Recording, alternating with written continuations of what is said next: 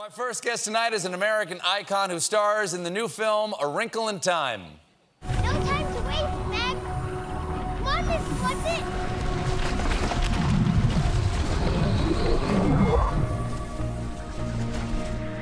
You just have to find the right frequency and have faith in who you are.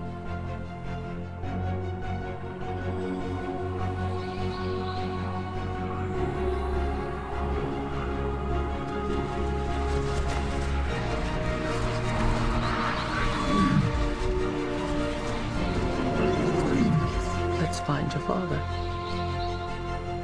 Shall we? Please welcome Oprah Winfrey.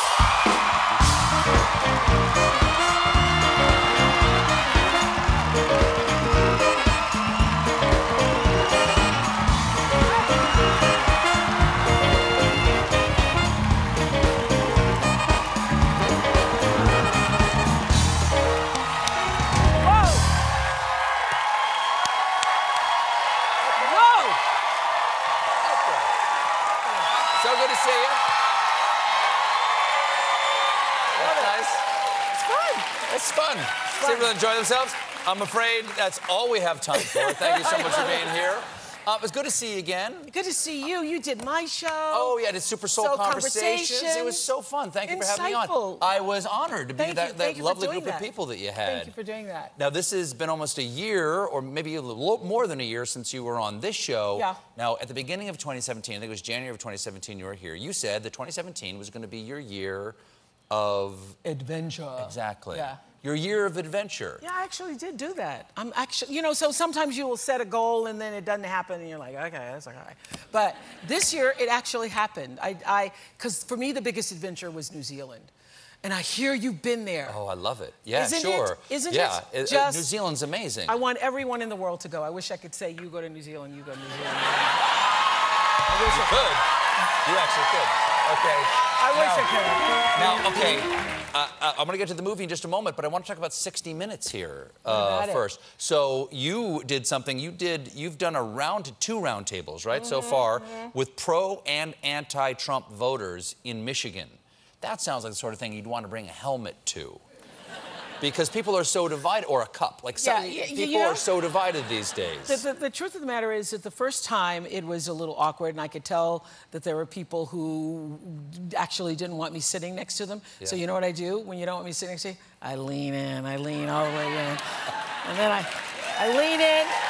yeah, what? Like people seem nervous or something. Not I think th- th- they actually told me later that they thought that uh, I would bring my own political stuff there and that they weren't that happy to see me. That's what they said to me afterwards. But now I went back like six months later and that group was still, this is what happened. I, I wanted to, to go to 60 Minutes because I thought, let's see what we can do to bridge the divide in the country. Can you get both sides talking to each other? And that group of 14 people stayed in contact, even though they didn't know we were coming back, because we didn't know we were coming back. Mm-hmm. And they all started this whole Facebook page called America's Hope, and they started, they still, not one person changed their mind, mm-hmm. but they listened, learned to listen to each other and disagree without being so disagreeable. That's what happened. Wow. Okay, so when. That's- which means it can happen. That's hopeful. That's hopeful. As long as Yeah. people keep Yeah, talking, you yeah, can at least negotiate where the country happen. is going. Yeah. If you can't, if you don't talk means to you can other. hear another person's point of view at least. Yeah. Right. Um, so, um, how is that different? Like being on 60 Minutes and, and, and doing these kind of interviews. Obviously, you had Well- the talk show of talk shows for how 20 years or something like that. 25. I apologize. I apologize. An extra five years. Wait, So you had- for wait till you're on years. 25. That extra five, you're going to be counting it. You're going to be counting it. So. So, how is this different? Because you certainly had all that experience of talking to people. What's the- different is is that everybody who watched the Oprah show all those years, they generally knew where my my opinions were, and I try really hard to not to be biased either way. Just to be, I literally say I'm going to go in. My only intention is to listen and to keep an open mind and to let other people be heard. Rather than my own show, I was a participant in that show and I had my opinions and people knew where my values were. You're a good talker. I'm a good talker, but so I try to be a better listener when I'm doing 60 Minutes. Oh, so you're to- not doing a talk show, you're doing a listen I'm show. doing a listening show, kind of. Now, you did have uh, one very big fan who watched you uh, uh, on the, Oh, yeah. the second night that you did it. Uh, this is a, a, a young man named Donald who lives in Washington. Yeah. He said, just watched a very insecure Oprah Winfrey, who at one point I knew very well, interview a panel of people on 60 Minutes. The questions were biased and slanted, the facts incorrect. Hope Oprah runs so she can be exposed and defeated just like all the others. Now, I would say, if there is one thing I associate with you, it's insecure. that is. You just don't seem like you're coming I from a place of understand that. strength. I, did, I didn't understand that, but here's the deal. I, I take uh, all criticism, particularly over the years. I remember a long time ago, a critic had said uh, when I first started television, she ate the furniture, she ate the questions, she ate the that. So I actually listened to that Mm-hmm. and act, became a better listener. So when I heard that, that the president had tweeted that, I went back and I looked at the tape to see, you know, what is he actually talking about? Was I biased? Uh, did we were we not fair? And uh, I, I didn't get it. I really, but I did examine it. I called up the 60 Minutes producers. I said, hey, let's. Is there any validity to this at all? And we all looked at it and said no. Yeah. I would agree. Okay. I would agree. Now, so here's here's another here's another adventure that you had this year. Yeah. Is that not you didn't just go to New Zealand, you did New Zealand and you became a blonde superhero. I went to Named New Mrs. Zealand and I got a doll. You got a doll. Yes. Did you did you read the book? I did, up? yeah, yeah, yeah. I read it. I read it. I remember I had it read to me in third grade by Mrs. Kelly. Thank you, Mrs. Kelly.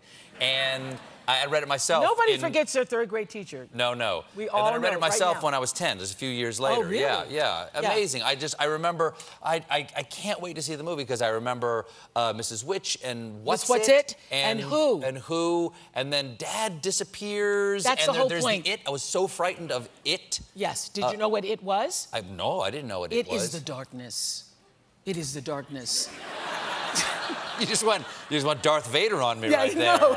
It is the It darkness. is the darkness. It and is what the is- darkness. and what is the darkness? The darkness? darkness again? is the darkness that's spreading so fast these days. The only thing faster than the light is the darkness. And the darkness is inside you. It's when evil takes over inside you. How do you keep that from happening? Because I don't want to be evil. You have to stay in the light. You have to stay in the light. And that's what Mrs. Which is. My character is, and Mindy Kaling and Reese Witherspoon, who I hear the girl's going to be on this week. Yes, next year. And so, so uh, we're all these um, these angel millennial women Mm-hmm. who help the girl Meg, played by the Golden Storm Reid, played by her, who's searching for her father, and we help her find her father.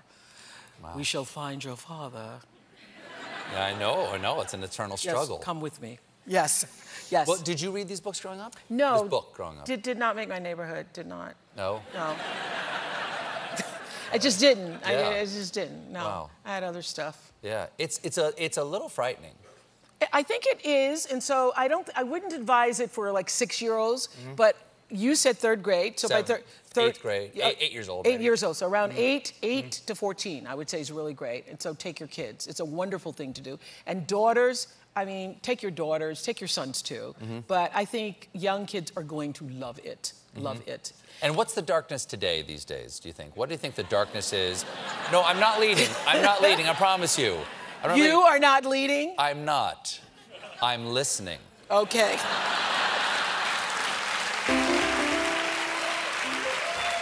It's this pervasive feeling that one, one group of people is better than the other, or mm-hmm. one side is better than the other side. Mm-hmm. And so, in times of darkness, we must all be warriors for the light, Stephen. Oh, I like that. Yes.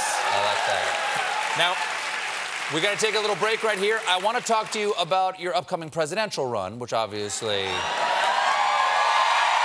said I know. I know you're not going to do it. Yeah. You've said you've said you, you won't do it, but I have a special guest stopping by who might be able to convince you otherwise. So please just hold there. Don't go anywhere. Stick around. We're right back with more Oprah Winfrey.